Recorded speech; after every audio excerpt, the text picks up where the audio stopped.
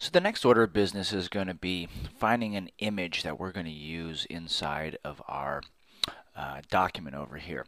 And what we're going to do is we're going to use, well, we're going to end up creating an SVG, a scalable vector graphic image, uh, to place in there because we kind of, uh, we're going to want our uh, content to be flexible and we don't want the quality of that image to degrade when it's like stretched out as full as it could be.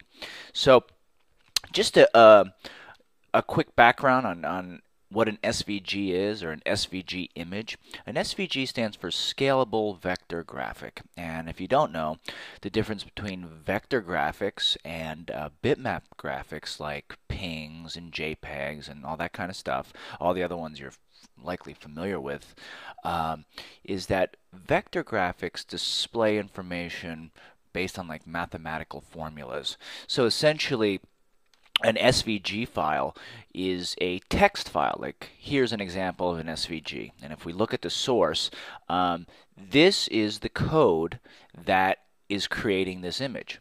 So unlike a bitmap, uh, a bitmap, just to go back to this example they have here, a bitmap kind of works on, um, this is a bitmap, and it works on a map that these little bits are laid on, and it's each one of these little squares in the in the image is going to be defined a color and an, opa and an opacity, and that's fine. It's worked for years, but the issue with that is is that when you make the file bigger, it starts to get pixelated, like you could see here, because this is a, a pixel. Uh, this is a a pixel-based um, or a bitmap based image.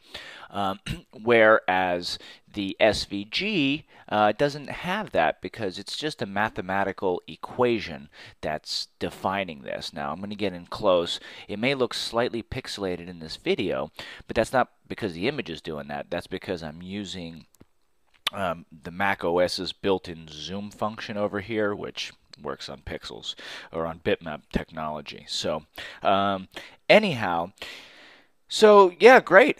SVGs, uh, vector-based images. So it seems like the oh, I was going to say the other thing they have as well too is that compared to an image of this size, compared to a bitmap version, is going to be smaller in size. Um, so already, what I was going to say uh, just now is already it seems like SVGs are the way to go right? I mean, they're smaller when they're downloaded, uh, they're scalable, you know, great. I'm going to use it for everything. Why not? Well, there's a couple of why nots. For one, uh, the first major why not is that not all browsers support it. I mean, modern browsers now are supporting it. As, as we move forward, it's going to be uh, all over the place. But um, older browsers, older versions of Firefox, older versions of uh, Explorer, like Explorer 8, well, they just don't render SVGs. So if you embed them in there, it's just going to be a, like a missing link. Um, the second thing is, I mentioned that SVG graphics are smaller than their uh, bitmap versions. Um, that's great, but it comes at the cost of your computer actually processing this information. So, um, with that said, using vector graphics is only appropriate if the graphics are relatively simple, like uh, almost like what you would use GIFs for. It's like there's a lot of solid colors, um, um, you know, things like graphs, cartoons, that kind of stuff. So what you want to use it for is limited because your computer has to do the processing. And the more uh, complicated uh, or detailed your SVG image is, um, the more your processor has to, or the more the visitor's processor has to calculate that image.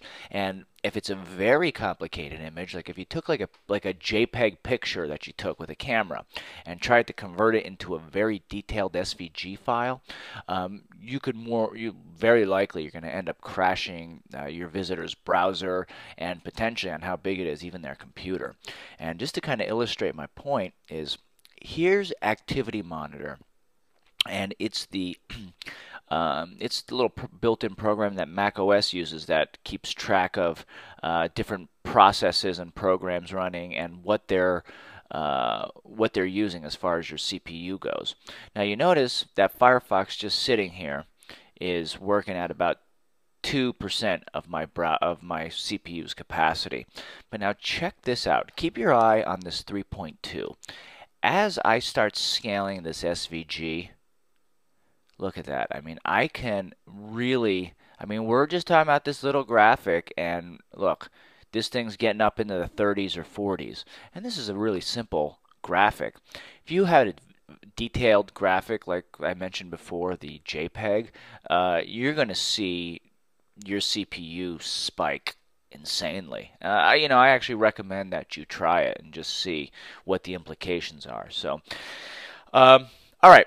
So with that said, that is a basic introduction to SVGs and what they're about.